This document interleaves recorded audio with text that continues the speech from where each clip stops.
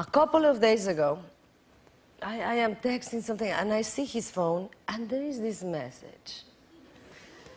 Uh, hi, this is Elena. Um, if you want to improve your English, you have to practice. Do you want to practice now?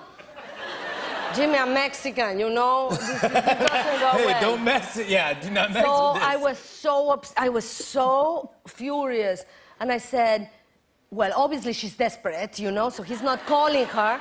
Should I say something?" I said, "I'm not gonna say anything. I trust him. I'm not gonna say anything." Four hours later, we're eating. I'm cool. Everything's okay. I'm eating, and I go, "Who the hell is Elena?"